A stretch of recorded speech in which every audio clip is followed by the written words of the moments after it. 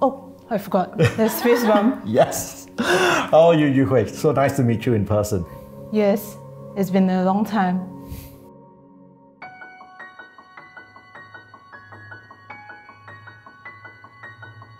Hello, I'm Dr. Wong Seng Weng.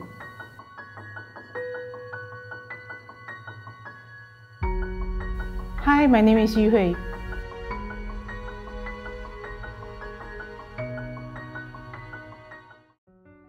You feel when you first heard the diagnosis? The first thing that came to my mind was this isn't real, it can't be me.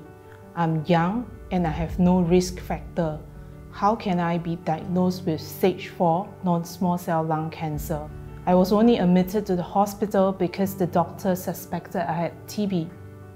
Yes, the most important learning point about lung cancer is that it only refers to cancer originating in the lungs, not cancer that has spread to the lungs. Lung cancer can be broadly divided into a smaller group called small cell lung cancer, forming about 10 to 15% of all cases, and a larger group forming 85 to 90% called non-small cell lung cancer.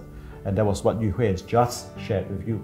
By and large, smokers can develop either small cell or non-small cell lung cancer, while never smokers almost only develop non-small cell lung cancer.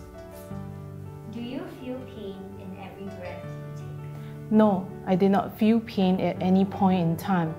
At diagnosis, all I had was a shortness of breath and I was getting increasingly breathless.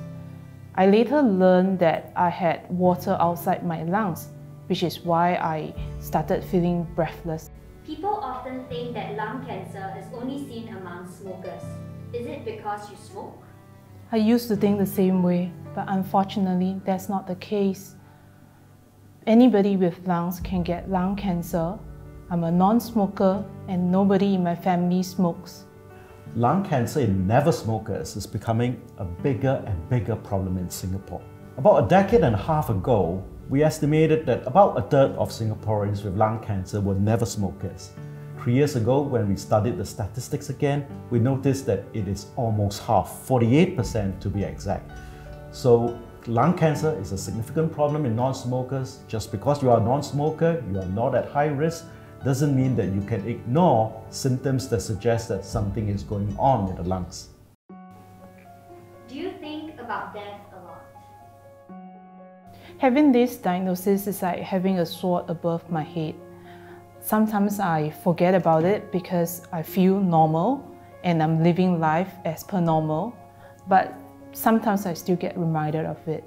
Yes, we can all understand why Yu Hui described as she's living with Damocles sword hanging above her head because lung cancer in the advanced form cannot be permanently and forever cured, but it can be controlled. Very often, the public misunderstands and think that since lung cancer are mostly diagnosed at the late stage, stage 4, that life expectancy is going to be very short. You know, they learn it from the period drama that they watch or movies, where patients will sort of meet their fate in three to six months, but it is not true. It can be controlled and sometimes for years. And Yu Hui, she has fought lung cancer successfully for three years and she is still enjoying a very good quality of life. And a good 20% of patients will go beyond five years. And as I mentioned, a lot of people think that lung cancer treatment, the treatment is worse than the disease, quality of life is bad, there's a lot of suffering going through the treatment. It's not always the case. The dramas are the reason why my friends tell me I don't look like a lung cancer patient. Caregivers and friends often don't know what we should say or do. Please share with us what we can do to make you feel better. Every cancer patient has their own experience and belief. It is important to respect those choices that they make and caregivers, I think, can help the patients get connected to a support group. SCS has support groups that the patients can join.